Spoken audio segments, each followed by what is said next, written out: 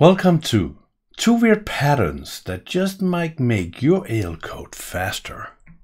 Hey, I'm Erik, and this story starts a long time ago. I um, I did a video, um, this one, long, long time ago, uh, about AL not being a lazy language, and by lazy I actually meant that it's not using short circuit evaluation, meaning that if you have if a or B or C. Then if A is false, then there's no reason to evaluate B or C. Um, and um, this topic was revisited uh, not long ago on uh, on Twitter by um, by my good friend Natalie. Um, and let's see if we got her here. So you should follow Natalie on Twitter. She has this amazing talent of uh, spotting when Microsoft changes stuff in the documentation and, and new, new things are, are added. So she's a constant source of useful information. Um, so follow her on Twitter. And if you feel like you perhaps follow, make sure that you're a subscriber to uh, to the YouTube channel. You can also follow me on Twitter if you want to. But uh, uh, for this video, I think it's more important that you actually follow Natalie. Uh, there's some good information there. Anyway, um, she brought up two patterns that uh, potentially or can, you know, emulate the uh, the lazy evaluation or the short circuit uh, short circuit uh, evaluation, and she said, "Hey, perhaps the video is coming," and I guess if you're seeing this this video is coming. Uh, so let's actually jump straight into the, the topic of today. So let's create some functions here. Um, condition one returns a boolean and this is a good one you know this returns false and fast but let's create one more Condition 2. This one also returns a boolean, but this one is terrible because it takes five seconds to figure out that something is not the what we want. And perhaps we even have condition 3.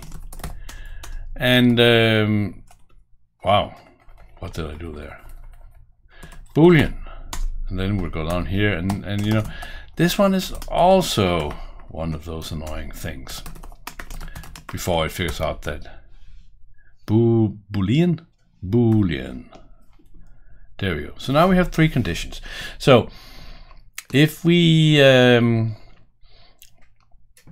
if we let's um, let's let's write a line of code here um, we could go with if condition one or if not condition one or and this is when I type or we all I always get the uh, the wrong IntelliSense and asking Microsoft they never they always get or but for some reason I always get security operation result. Um, so I don't know why but that's me. There again. Um, then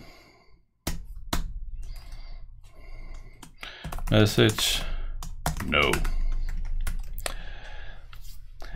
Uh, we could actually let's let's put a time on this because we do it on open page so it can't be hard, oh, wow it can be hard to see what happens so let's do a um, start time which is a well, we can just do time, do start time equal clock, and here we will do a, wow, clock minus start time, uh, which is not a function. And it's not called clock, it's called time. Too many different languages sometimes. Okay, so let's try this because this this is the way if you would would do it in whatever language uh, that has short circuit evaluation or is LACIA, whatever label we put on it. Um, and now let's see. Getting ready, getting ready. I should have not have used five seconds. Five seconds is a long time when you're recording a video and looking at a screen. Five plus five seconds is even longer. But we spent 10,025 milliseconds on, on this if statement.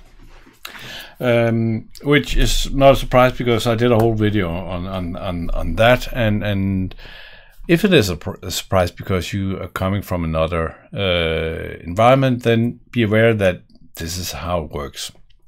So we can see that this is this is pretty terrible. Um, so one of the patterns that um, that Natalie suggested was was this one. So we could go say if false in now we'll create a list. If false in condition 1, comma, condition 2, comma, condition 3, then. And, and it looks weird. I, I totally agree. This looks weird, uh, hence the title of the video. But let's let's run this and see what happens.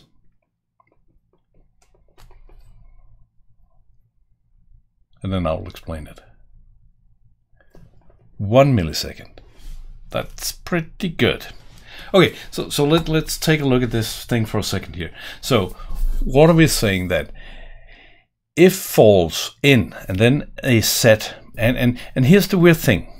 So most Pascal compilers uh, uh, works with the work with the the concept of constants. Uh, so so if I um, if I use the in statement, that would be a list of constants.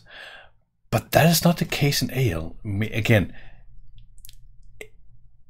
AL is not Pascal and Pascal is not AL, but there is a great overlap of of syntax, but but there's a lot of difference in execution and and there's also a a some subtle differences in in how things are are um, managed.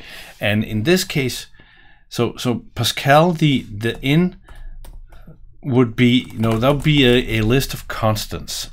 But that is not what we have in al in al we have a list of expressions. So each of these gets evaluated but apparently and and and and, and since we don't really have a a language definition, a a, a very specific written down language definition for AL, uh, AL works the way it's implemented, uh, which is what what I faced when when I created the uh, AL compiler interpreter for for my Toolbox app is that okay I, I need to figure out how was AL actually doing and behaving. And and one of the things is that these are expressions. So when evaluating an in statement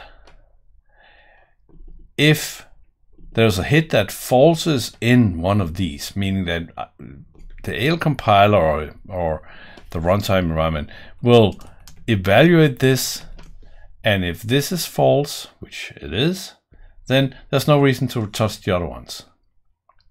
So this is the first weird pattern. Um, and uh, as you can see that it's it's fairly condensed uh, and it's I, I, guess it's readable. Uh, my my my my problem with with with this is that it falls in is is is backwards, uh, almost to the uh, uh, reverse Polish notation kind of thing, which I kind of enjoy because I think you know I'm a, I'm a I'm a fan of uh, reverse Polish notation calculators. But but I'm not so sure with when it comes to programming languages. I never enjoyed programming in Forth, for for instance. Anyway, sidetrack. Sorry. Um, but I, this is readable. Um, so so this, this it's a useful pattern. The other pattern, uh, because I, I I promised two. The other pattern is the case statement. So we could also do case. And and in this case, we need to exit. So we we could we let's create a, uh, a another procedure here. Um, let's just for for instance put this into so we could if we could do case false off and then we'll do condition one exit. Con and now you're yelling at me because I'm not formatting these lines proper but uh, when I when I save then AL will do the formatting for me.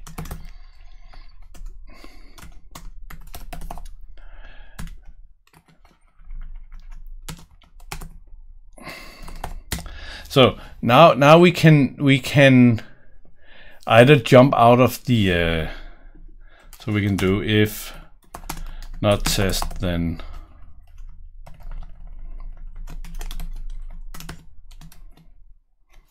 and let's let's try this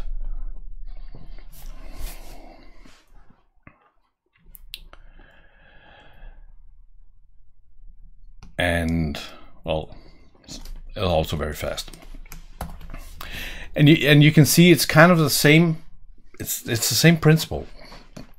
It's it's it's again a subtle difference between Pascal and AL, because in Pascal the definition of a case statement is that these are constants. Uh, so a potential Pascal compiler can build a jump table and navigate efficiency efficiently through the case statement, but that's not how AL works. So AL will just start evaluating these because they are expressions also. So if we evaluate this one, if that was not the thing, then it, it will evaluate this one and evaluate this one. So of course, the problem here is, is what if we did this? Um, well, you you know the result now, I guess, but but we'll do it anyway. So, well, that is so so now the order of um, the the order of the case uh, pieces will determine which one you that is tried first. Um, and in this case, we get we get three evaluated, and that took five seconds, and then oh, we are we're out of this. So so still better than this one. Personally, I I think the the the I know there is a general scare in in in in the world program, but but if not condition one, then if not condition 2 then if not condition 3 then I don't think we need to be scared of nested uh, if statements. Um, uh, depending on what depending on what we we need to do. Um, of course, it can get complicated, but but but in in some cases, I know it's I did it with the not, so this one is, doesn't really make any any good sense. But but I don't think the uh, I don't think the nested ifs necessarily is a bad thing, but it's it's thrown upon in other languages because you you can do it nicely in in a single statement. But it it comes down to readability. I, I, I personally think that the the in one is is more readable than than than doing case. Uh, the case just you know rubs me the wrong way. Uh, uh, in kind of does too, but but I think it's more readable. Um, so I think I would prefer that one. Anyway, those were a couple of uh, of weird patterns in AL that might make your code faster. If you want to look at more AL code, I am sure this video contains a lot of AL hacking, so go check that one out. I'll see you there. Take care. Bye.